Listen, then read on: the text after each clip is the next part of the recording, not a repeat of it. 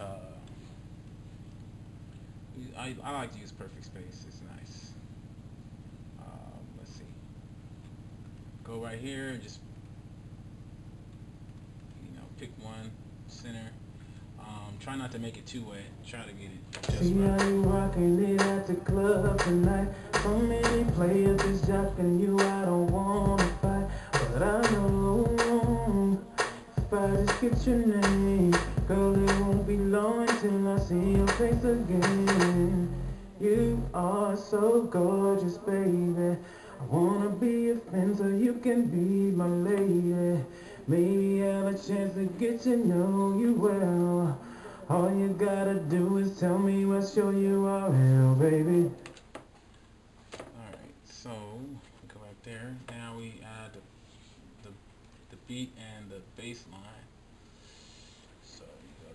Drums, bass. See how you rocking it at the club tonight. So many players is you. I don't wanna fight, but I know. Um, the key in your mix is that you want the lead vocal right down the middle and you want it to be the most profound. You want it to be heard the most, but you don't want it to be overpowering. So you have to take your ears, take reference material, and figure out how you want the mix to be. But the lead vocal is the most important vocal. And then the second would be, the second part is going to be your bass and your drums. And then the rest kind of just falls into place. Now, when we're mixing vocals, what you want to do is, what I do when I'm recording backing vocals is I keep them left and right and I try to make them stereo. So right now I have, on the main chorus, I have four vocals. Um, for each voice, I have two recordings for each voice. In this case, I did two voices on this harmony. I just, there's no harmony, it's just a main melody and also an octave higher. So the one that's higher, I don't want it to be super duper loud. I just want it to be there in support of the main vocals. So you go right here to pan, and I'm just going to pan it, say 60% left and right. And then on the high, or the octave higher, I'm going to pan that to 80% left and 80% right. Okay? And that'll give you that stereo effect. Okay? And it'll give you kind of, it'll kind of hug the vocals. And then what you want to do is also you'll want to put compression. You want to put compression on the vocals. So we're going to go to audio effects. We're going to go to the vocal send, which is where the vocals are coming out of. And we're going to put compression on there. So you can look through all your audio effects and find a compressor that you're looking for. I'm using the Sonitus FX. And I'm just using, they have a preset for vocals. And I'm taking them all the way up, just moving them up to where the top of that curve is right close to 0 dB. And then also, um, you'll want to silk those out a little. You want to make them a little silky sounding. So I'll go to effects and I'm going to put a high a high range filter on there, um, or a, uh, an equalizer. I'm going to use an equalizer, cakewalk equalizer, or EQ. And then I'm going to use a preset here called high frequency boost. And I'll take it down a little bit because it's really high, but it basically gives adds some silk to the vocals. Okay. And then at the end of that, you'll also want to put some either a uh, either a reverb or uh, sometimes you can even put a uh, you can even put chorus on there if you want. So let's just let's see if we can find a chorus that we like. We'll put a chorus on there. Why not? Uh, we'll put a basic basic chorus. Just something not too overwhelming.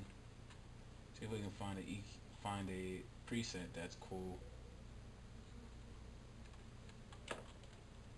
Um, we're gonna go over here, switch to our track view. We're gonna go to the chorus,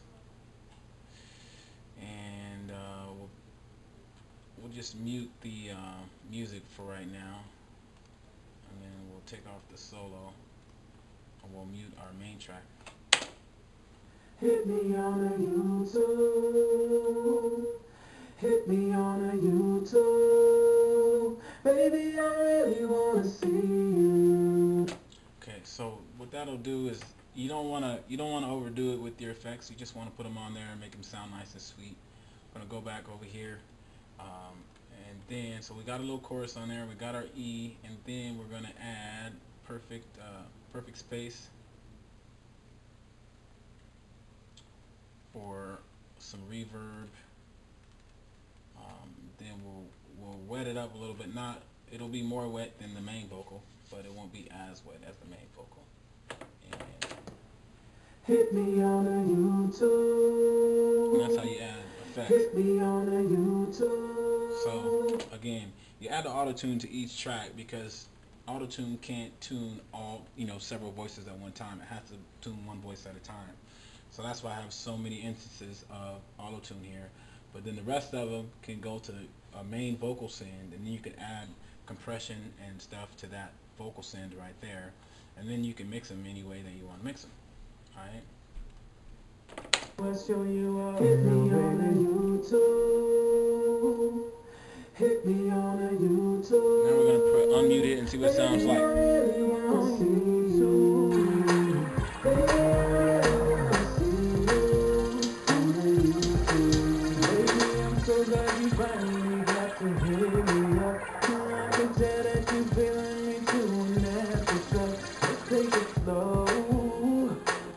Okay, so now we got that. We're gonna try to mix it up. Mix it a little bit. You know what I mean? Try to get it right. The high was obviously too high on that. And then we, now we're gonna play it back and just keep toying with it and see what it do. But that's basically the gist of of how you add effects to uh, to your sounds and stuff.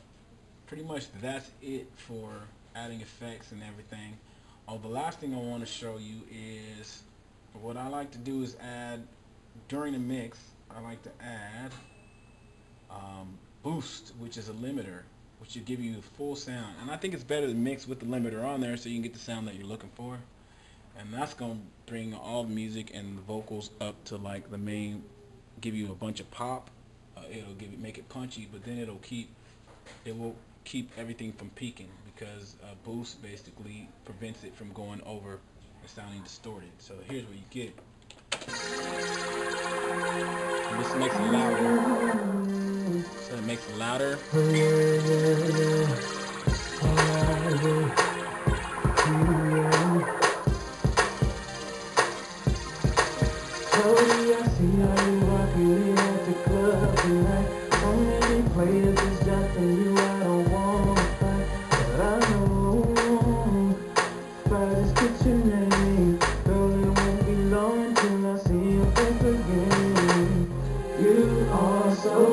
Gorgeous, baby. I wanna be a place where you can be my lady. Maybe have a chance to get to know you well. All you gotta do is tell me what's show you up. Hit me on YouTube. Hit me on YouTube. Baby,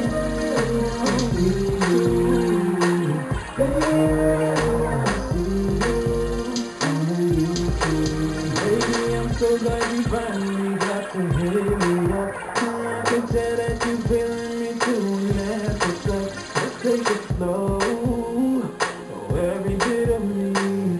Once I put my hands on every part of your body. You are so you. Wanna be superstar, baby. To to know you well. Tell me what you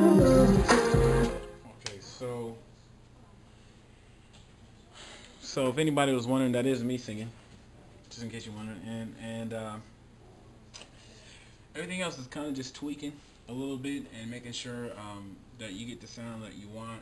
Uh, what you want to do is put it on tweeters, put it on the subs. Um, just keep tweaking it until you get the sound that you're looking for. So now I'm just keep keep messing with it until I get the mix that I'm looking for. And then when I'm when I get that mix, I'm going to hit you back and we'll talk about once we get our final mix, we'll talk about mastering and um and so on. All right. Talk to you later. See you on part four.